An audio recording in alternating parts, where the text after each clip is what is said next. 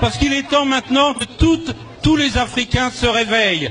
Il est temps maintenant de chasser toute cette génération de dictateurs que la France choisit pour vous, pour ses propres intérêts.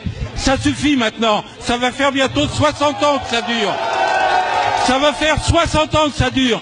Vous avez eu, un seul vrai président. Il s'appelle Modibo Keïta. Les Français, Modibo Keïta était le seul chef d'État qui s'intéressait à son peuple, qui s'est battu pour son peuple, qui a voulu créer une monnaie africaine. Il a été empoisonné. Il a été empoisonné avec l'aide de la France. Tous ces chefs d'État qui ont suivi, ce sont des mercenaires de la France. Il est temps maintenant de vous en débarrasser. Il est temps qu'il y ait des vraies élections. N'attendez pas des, délais euh, réguliers comme il se passe maintenant. Créez vous-même. Débarrassez-vous de IBK.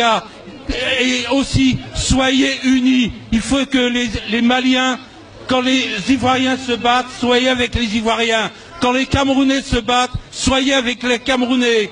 Idem pour le Sénégal, idem pour le Gabon, idem pour toute l'Afrique francophone, parce que vous avez tous le même combat. Vous avez tous le même combat à mener.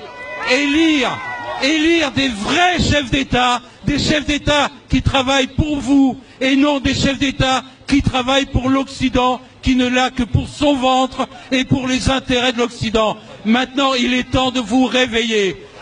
Kémy Seba se bat pour vous. Ne, soutenez-le, parce qu'il se bat pour tout le continent africain. Euh, Soutenez-le et soutenez tous les panafricains qui ont le même combat. Vive l'Afrique libre et vive le Mali. Merci.